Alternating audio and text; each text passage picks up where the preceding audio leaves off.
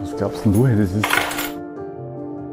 der Grund der Jeansjacke ist, dass die alles beherbergt, wozu ich zum Leben fähig bin. Also von daher. So, jetzt. Mein Name ist Josef Mittelmeier. Ich arbeite seit 1989 im Institut für Bildende Kunst und Ästhetische Erziehung und betreue die Abteilung der Malerei zusammen mit meinen Kollegen. Das Projekt Kunst trifft Technik bewirkt, dass die Studierenden hier in erster Linie aufgefordert sind, etwas malerisch zu schaffen, was fotografisch nicht zu leisten ist.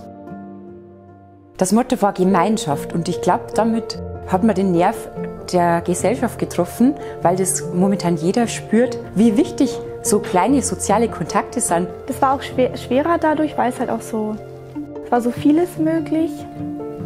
Aber ich fand es schon sehr interessant, sich auch mal damit auseinanderzusetzen, was ist für eine, eine gelungene Gemeinschaft. Ich habe mich und meine Freunde gemalt und ähm, ich habe einfach sozusagen so Stücke aus Erinnerungen so ein bisschen zusammengefügt in dem Bild zu den Blumen, die dann wieder einem natürlich das Blickfeld auf die Menschenmenge erschließen. Und das ist eine ganz interessante Blickführung. Deswegen habe ich auch dieses Bild gewählt als etwas, das neben mir hängt, weil ich finde es voll geil.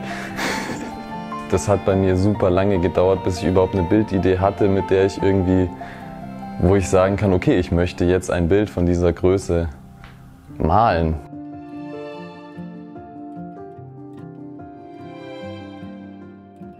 Ich fand das Thema dieses Jahr ein bisschen schwerer als sonst, weil es mehr ungelungenere Gemeinschaften gibt tatsächlich auf der Welt zurzeit als gelungene.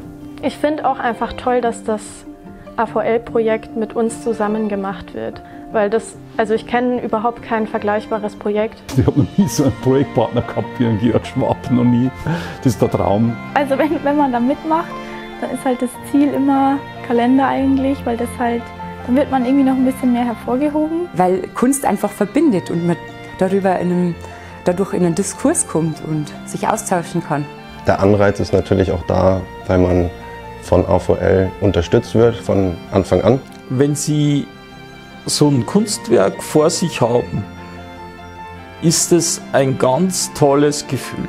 Man sieht, wenn man viel Energie in irgendeine Sache steckt, dann kommt auch was Tolles raus. Wir machen das Projekt, weil wir überzeugt sind, dass das Projekt erstens Spaß macht, zweitens unseren Leuten viele neue Gedankenanstöße geben wird und wir auch sehen, dass das für die Künstlerinnen und Künstler genauso gilt.